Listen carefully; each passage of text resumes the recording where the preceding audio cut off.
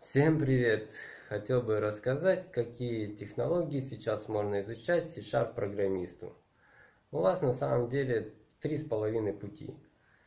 Э, первый путь это изучать WinForms, WPF. Э, плюсом будет, если вы еще поработаете с DevExpress компонентами. Э, в чем преимущество? В основном это работа, связанная с поддержкой какого-нибудь ПО, написанного несколько пару лет назад и который нужно поддерживать для работы какой-нибудь организации. То есть работа будет не пыльная, что-то доработать, что-то доделать, что-то переделать. Такая не трудная работа, единственное, она очень э, скучная, так что к этому как бы надо будет готовым быть. Второй путь это можно, конечно, податься в гейм-разработчики, гейм-девы.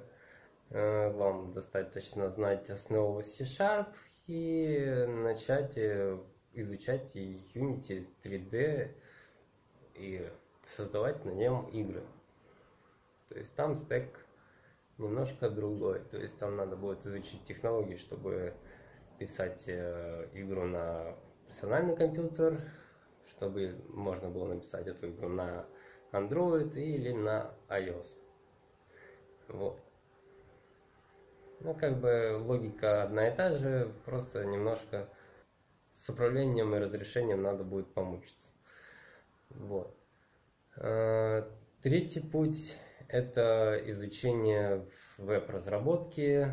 Тут очень все сложно, потому что помимо того, что вам надо знать ASP.NET, вам надо знать 100% сейчас это платформу .NET Core.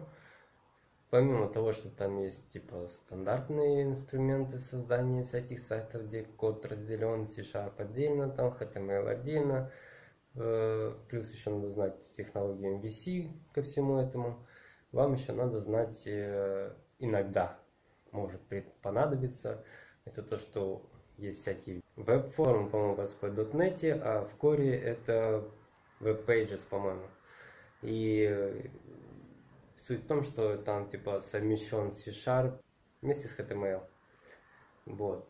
Ну, это типа, возможно, кто-то на этой фигне что-то написал, и вам надо будет это как-то поддержать или доработать, или переделать. Самое сложное в том, что если вы идете на веб-разработчика, вам нужно немножко знать серверную часть. Это, скорее всего, вам надо будет знать э, операционную систему Linux, как э, на ней сайты все эти разворачивать, и чтобы они не падали там и работали, и все такое. И что еще надо знать, это JavaScript, CSS, всякие SAS, LAS, HTML, само собой, и, возможно, TypeScript. Я уже не говорю про всякие библиотеки Bootstrap и jQuery. А, также требуются навыки работы с Angular и знания WebAPI API.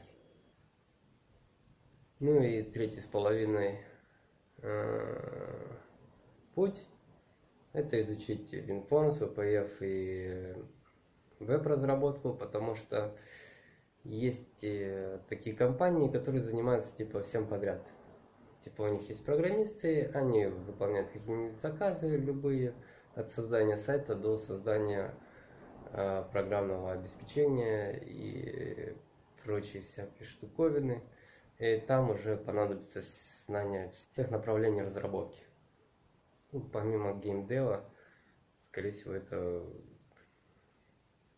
будет отдельная компания. Ну, примерно вот так. На этом все.